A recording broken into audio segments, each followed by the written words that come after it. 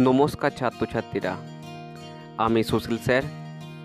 আজ আমি উচ্চ মাধ্যমিক সংস্কৃত সাহিত্যের ইতিহাসের অন্তর্গত মৃচ্ছকটিকম নিয়ে আলোচনা করব। প্রথমে এর সম্বন্ধে কিছু জেনে নেব। পরে এর বিষয়বস্তু, চিত্রসহ গল্পের আকারে পড়ব। ও শেষে এর নাট্য বৈশিষ্ট্য নিয়ে আলোচনা করব। ভিডিওটি স্কিপ করবে না। তো বেশি দেরি না করে শুরু করা যাক।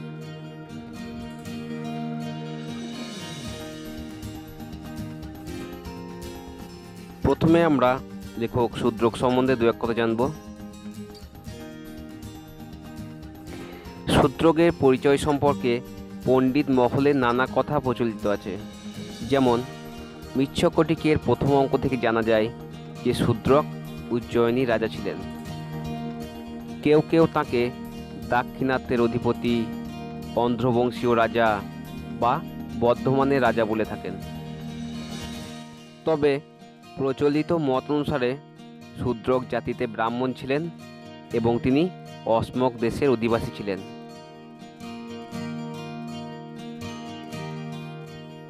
সময়কাল।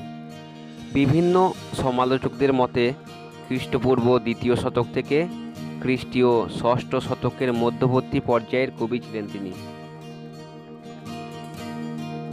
মৃচ্ছকটিকমের উৎস মিচ্ছকটিকমের উৎসগুলি হল গুণাঢ্যের বৃহৎ কথা, সোমদেবের কথা সরিষাগর ও ভাসের চারুদত্ত নাটক। নামকরণ। মৃচ্ছকটিকমের সন্ধি করলে হয় মৃৎ যুক্ত সকটিকম। মৃৎ শব্দের অর্থ মাটি, সকটিকা শব্দের অর্থ গাড়ি। সুতরাং মিচ্ছকটিকম কথার অর্থ হল মাটির খেলনা গাড়ি। মৃচ্ছকটিকমের টিকাকার। গণপতি, পৃথ্বীধর, শ্রীনিবাসাচার্য, বিদ্যাসাগর ও ধর্মানন্দ।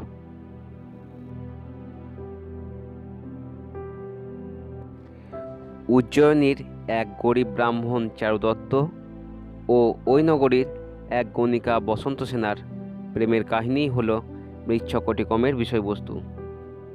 বসন্ত সেনা লোকের মুখে চারুদত্তের গুণগান শুনে তার প্রতি আসক্ত হন।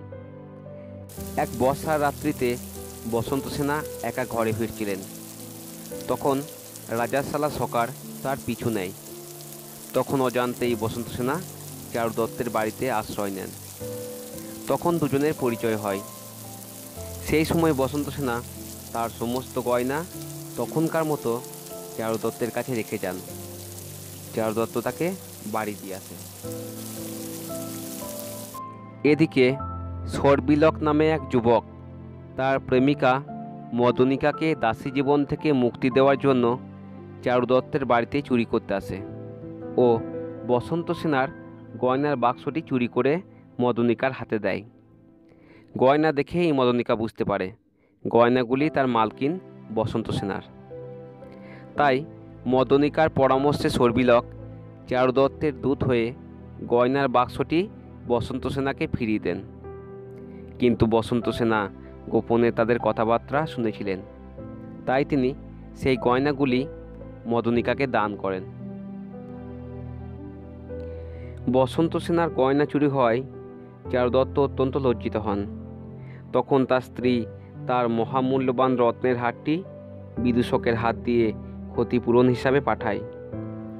বসন্ত সেনা অনিচ্ছা সত্ত্বেও হারটি তখনকার মতো নেন, কিন্তু হারটি ফিরিয়ে দিতে পরের দিন চারিদত্তর বাড়িতে পৌঁছান এবং প্রাকৃতিক দুর্যোগের জন্য সেখানেই দিতে থাকেন। সকালে চারুদত্তের ছোট ছেলে রোহসেন সোনার খেলনা গাড়ির জন্য কান্নাকাটি শুরু করে। তখন বসন্ত সেনা খেলনা গাড়ি তৈরির জন্য তার সমস্ত গয়না দান করেন।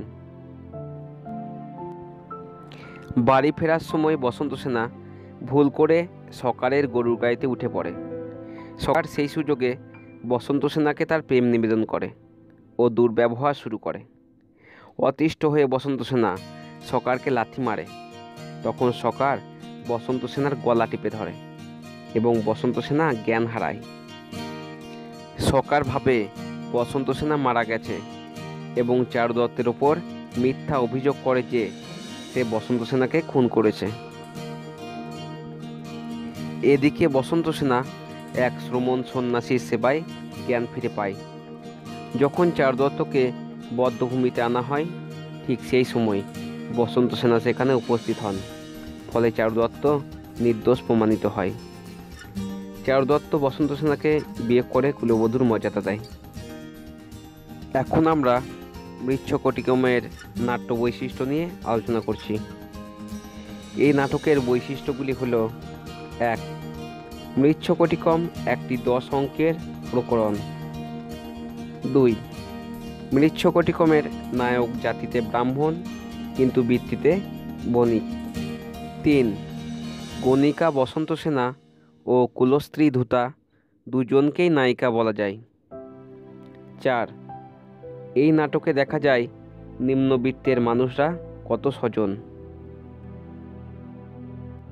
পাঁচ, শূদ্রকের রচনাশৈলী খুব সরল ও দীর্ঘ ছন্দের ব্যবহার খুব কম।